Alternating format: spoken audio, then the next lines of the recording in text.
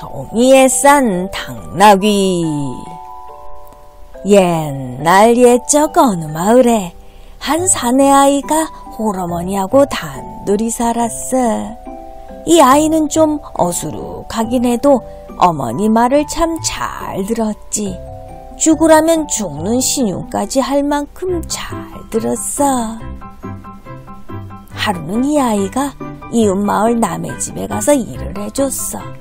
하루 종일 험한 일, 굳은 일 안 가리고 힘들여 일을 해주고 나서 돈 서푼을 받았지. 아이는 돈 서푼을 가지고 집으로 돌아갔어.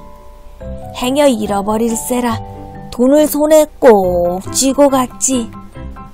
가다가 길가 우물에서 물 한 모금 마시고는 아 그만 돈을 우물가에 두고 그냥 가버렸네.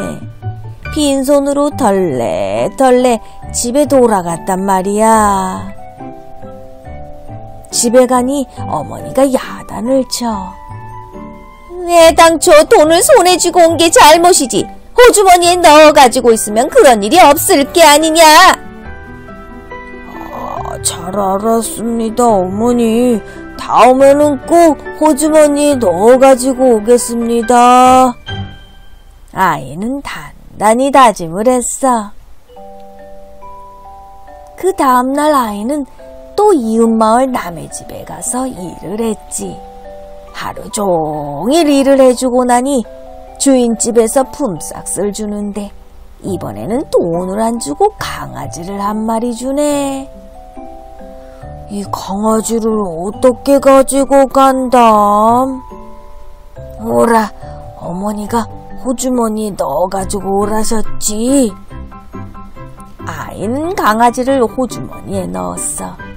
안 들어가려고 깨갱깨갱 발버둥을 치는 걸 달래고 달래서 겨우 호주머니에 넣었지.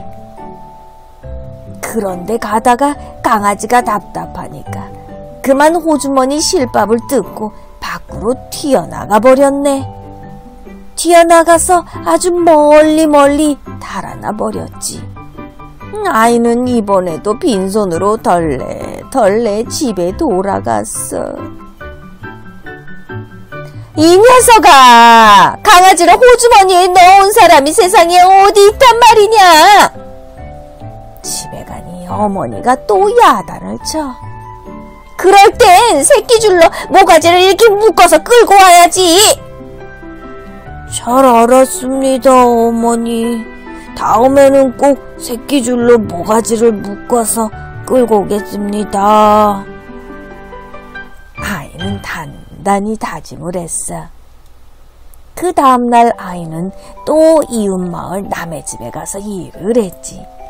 하루 종일 일을 해주고 나니 주인집에서 품삯을 주는데 이번에는 뭘 주는고 하니 생선 한 마리를 주네. 이 생선을 어떻게 가지고 간담? 오라, 어머니가 새끼줄로 모가지를 묶어서 끌고 오라셨지. 아이는 생선을 새끼줄로 묶어서 끌고 갔어. 집에 가서 보니 생선 살점은 다 떨어져 나가고 뼈만 앙상하게 남았거든. 넌 어쩌자고 생선을 그 꼴로 만들어 왔니? 그런 건 종이에 싸서 새끼줄로 몸통을 묶은 다음 어깨에 착 빼고 와야지. 잘 알았습니다, 어머니. 다음부터는 꼭 종이에 싸서 새끼줄로 몸통을 묶은 다음 어깨에 척 빼고 오겠습니다. 아이는 단단히 다짐을 했어. 그 다음날 아이는 또 이웃 마을 남의 집에 가서 일을 했지. 하루 종일 일을 해주고 나니 주인집에서 품삯을 주는데 아 이번에는 뭘 주는고 하니 당나귀 한 마리를 주네. 커다란 당나귀를 턱 받고 보니 눈앞이 깜깜해.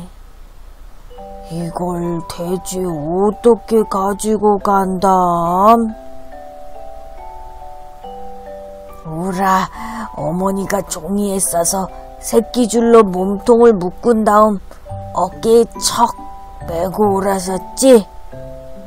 하이는 여기저기 다니면서 종이를 주워다가 당나귀를 쌌어. 눈만 빼놓고 쬐 쌌지. 종이로 당나귀 몸뚱이를 다 싸발라서 몸통 가운데를 새끼줄로 뚝딱 묶었어. 그걸 어깨에 정 메고 갈 작정이야. 그런데 당나귀를 맨다는 게 어디 쉬운가. 제 몸집보다 큰 놈을 매려니 뭐 난리도 아니지. 당나귀 배 밑에 들어가서 버둥거리는 꼴이지만은 어쨌든 그 꼴을 해서 집으로 가는 거야. 그때 마침 원님 행차가 그 길을 지나게 됐어. 원님 딸이 병에 걸려 며칠째 먹지도 못하고 말도 못하기에 바깥 구경이나 시켜주려고 가마에 태워 나왔지. 사실은 원님 딸이 생선을 먹다가 가시가 목에 걸려 병이 난 건데 그걸 아무도 몰라. 원님 딸이 가마를 타고 가다 이 아이가 당나귀를 종이에 싸서 메고 가는 걸 보게 되었거든. 그걸 보니 얼마나 무서워. 멀쩡한 당나귀를 눈만 빼고 온통 종이로 싸바른 데다가 그걸 어깨에 매겠다고 당나귀 배 밑에서 버둥거리는 걸 보니 웃음이 안 나올 수 없잖아. 그래서 배를 잡고 깔깔 웃었지. 그 바람에 목에 걸린 가시가 툭 튀어나왔어. 원님 딸의 병이 씻은 듯이 나으니까 원님이 기뻐하며 아이를 불러서 물어봤지. 너는 무슨 까닭으로 당나귀를 종이에 싸서 어깨에 메고 가느냐? 예, 어머님 말씀대로 하느라고 그, 그럽니다. 앞뒤 이야기를 다 듣고 보니 대강 사정을 알겠거든. 원님은 어머니 말을 잘 듣는 효자라고 아이에게 큰 상을 내렸어. 아이는 상을 받아 당나귀에 싣고 집으로 돌아왔지. 돌아와서 어머니하고 오래오래 잘 살았더란다.